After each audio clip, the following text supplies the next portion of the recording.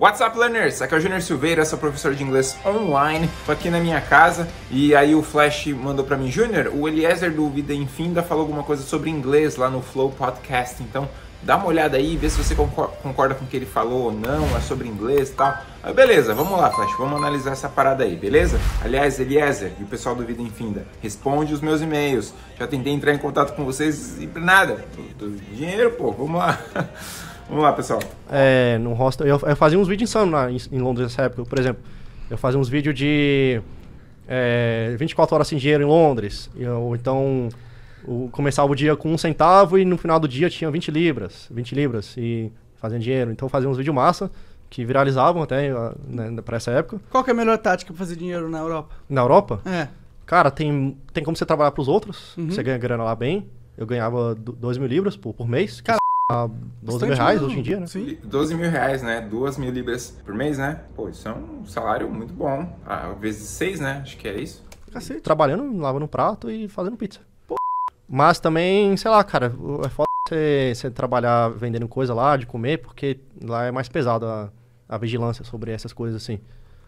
Mas sei lá, você fazer música, se você for muito bom, você ganha muita grana, muita grana. 100 livros por dia, 200 livros por dia. Londres, a, o pessoal dá muito valor nisso. Que da hora. Tem um cara lá que eu, que eu entrevistei que o cara tinha fazia beatbox e o outro tocava saxofone e ele fazia 400 libras em um dia, já, já fez, né? Não, não fazia todo dia. Mas lá no verão, agora no inverno, esquece fazer dinheiro assim, só você. É, eu lembro que quando eu viajei para Inglaterra e para França, eu vi bastante, né, músicos de rua. Em Londres, praticamente toda estação de metrô que eu descia, eu encontrava é, músicos. Então, assim, a, a, o chapéu cheio de dinheiro, moeda, eu sempre via o pessoal depositando né, o dinheiro lá no chapéu, enfim, para esses músicos. Pessoas parando, tirando fotos, selfies, vídeos, enfim. É muito mais reconhecido do que aqui no Brasil. Pelo menos eu tive essa percepção. E eu me lembro também na França, né, em Paris, o. Ah, eu vou colocar o Instagram dele aqui embaixo depois para vocês darem uma olhada lá. O cara toca violino lindamente e parava assim a estação de metrô de, de Paris ali. Todo mundo olhando, aplaudindo, o cara mandando mal bem, parecia um artista de, de palco, assim, uma performance. E realmente é muito mais reconhecido lá do que aqui no nosso país. Mas tem, tem vários jeitos, cara. A música é um deles. É, é, agora, nunca vi ninguém vendendo coisa na rua lá, não. Vi, mas é bem pouco, não é igual ao Brasil. Interessante. Que é cara. é mais livre, lá é menos. Entendi. Se tu for bom no ukulele, dá pra fazer uma grana. É, cara.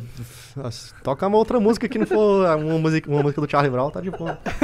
Mas dá pra fazer uma grana. Dá pra fazer uma grana. Charlie Brown, Nossa, lá, pra viajar. Qual, quanto a maior quantidade de grana que tu fez um dia, assim, nessas, nessas viagens? Na. Deixa eu ver.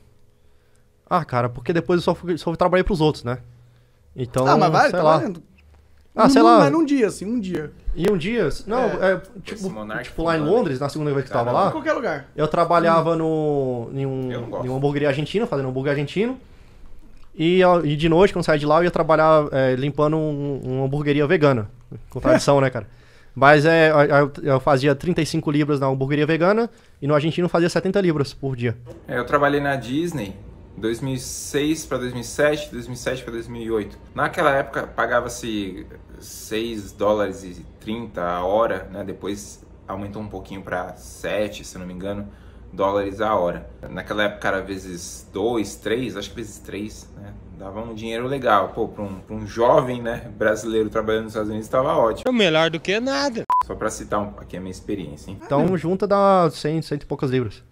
Pô, tá ótimo. Sei lá. É, é. mas trabalhava c... também, né? Trabalhava, começava de manhã e saía meia-noite lá do, do, do, lugar que eu limpava lá. Era só o trabalho, cara. Lá trabalho, trabalho. Mas vale a pena, cara. Você, você é bem pago pra caramba lá.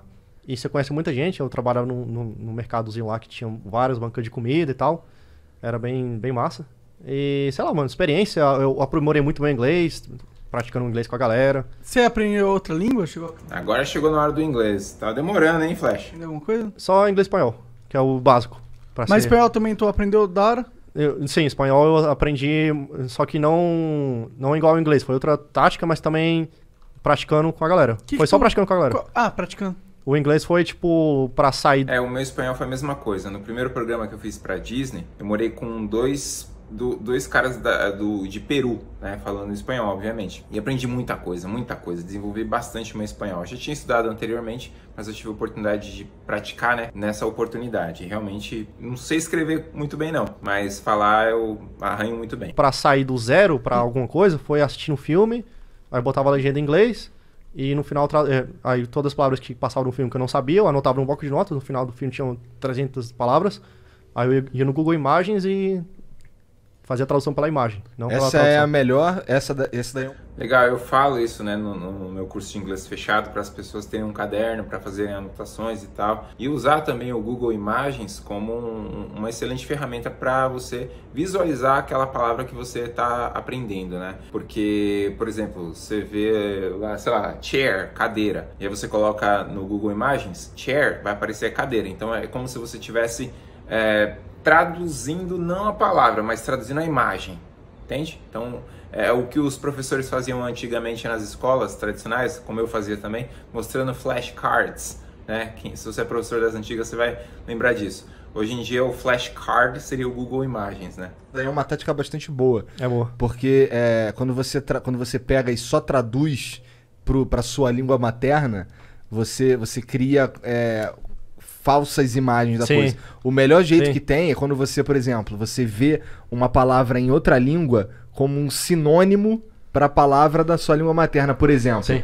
É, é o que eu isso daqui, falando, né? vamos lá, tem se eu, sou, se eu sei inglês e, e, e, português, isso aqui tem dois jeitos de chamar, tá ligado? Posso chamar de caneca ou posso chamar de mug, uhum. né? Mas assim, na minha cabeça, ela, o, o, caneca não é mug. É isso aqui que é mug. Entendeu? Exato, exa é. exatamente isso. É. Não é a tradução, não é que é, é o inglês é, seria o português com outras palavras. Exato, ela não tá ligada às palavras em português, tá ligada Sim. ao significado das Exato, coisas. Porque tem toda a cultura atrás da palavra, né? É, toda exatamente. como a palavra chegou para ser aquela palavra. Uhum. Isso muda muita coisa. Tem, tem toda a razão. Eu penso da mesma maneira. Talvez agora não me venha nenhum tipo de objeto, né, para poder fazer um outro exemplo, mas eu posso dar o exemplo como o Google, né? O Google, é, além de ser empresa, também virou meio que um verbo. Né? Então, ah, faz uma pesquisa aí na internet. Então, esse faz uma pesquisa virou tipo, ah, dá um Google aí. Uh, Google it, please. Just Google it. Então, é como se, né, um exemplo de, de da palavra Google que transcendeu a empresa para virar um verbo, fazer parte da, do, do, linguajar das pessoas. Por isso que a língua é viva, está sempre mudando constantemente. Imagina uma pessoa que parou no tempo 10, 15, 20 anos atrás, de repente acorda e fala: pô, a pessoa está falando Google, o que, que é isso? Né? Então, perdeu, ficou para trás. Um exemplo aí. É, é, só essa percepção já muda muita coisa mesmo. Sim, sim. E outra coisa que, que também ajuda pra caralho, com certeza, é precisar da língua para comer. Exato, né? exato, exato. Você precisou falar outra língua para poder se virar, né? Aí... Foi o que aconteceu comigo mais no espanhol, porque eu, eu, cheguei no o primeiro lugar que eu visitei que não era que não falava espanhol, que foi o Paraguai e não sabia nada, cara. E viajando sem dinheiro ainda, cara. Você tem que falar com as pessoas, meu. É. Você não pode depender só, sei lá, você não vai ter tempo de, de aprender a parada. Então, sei lá, meu. E tem uma galera que acha que espanhol, por parecer com português, é fácil. Não, não mesmo. Tá? Tem uhum. muita coisa ali que tem muita armadilhazinha, porque a maioria das pessoas entra nessa de que de ligar uma palavra a outra palavra e não ao significado dela. Sim, sim, então sim. aí essas armadilhas que são criadas aí são perigosas também. Sim. É, o espanhol tem muita similaridade com o português, mas em, questão de vocabulário, nossa, é, é, tem muita palavra que te pega. Eu não sou o professor mais indicado, né, para falar sobre espanhol e tudo mais. Prefiro que a Adriele ela tem um curso de espanhol também, uma ótima professora de espanhol, minha amiga, ela consegue falar melhor do que eu. Mas o que o, o Igor falou aqui é verdade. Né? Sim, sim. É. Muito interessante isso, cara. É, o, o negócio do Google Maps me ajudou pra caramba, cara. Cara, em 10 filmes que eu assisti, eu já tava. Não falando, porque não tava praticando, mas entendendo o que a galera falava comigo. Entendi. Que aliás esse é o procedimento, né? Primeiro você entende o inglês ou outro idioma, aprende a escrever, aprende a ler e falar é somente a última habilidade que você desenvolve, né? Eu, eu sei que muitas pessoas querem falar inglês, têm essa vontade, esse desejo, meu Deus, eu quero falar, falar, falar, falar, mas primeiro você tem que se preocupar em entender. Você não consegue falar aquilo que você não entende. Compreende o que, o que eu quero dizer? Eu não posso falar sobre um assunto porque eu não entendi a ideia dele, não consigo opinar porque eu não conheço aquela informação, aquele assunto. Mesma coisa em inglês. Não tem como você falar algo que você não conhece. Entenda que o último passo é falar, tá? Não tenha pressa. Porque depois eu ia lá em Brasília mesmo, eu ia em uns grupos de galera que, vai, que vai pro bar só pra falar inglês. inglês. Ah, existe isso. É.